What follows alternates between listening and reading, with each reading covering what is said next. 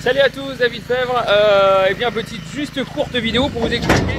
Donc, on est en train de sortir les caisses euh, vendanges. Euh, Anthony est en train de les remonter euh, du grenier, je dirais.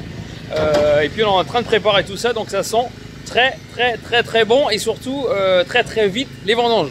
Allez, je vous en dis plus dimanche prochain. Ciao, salut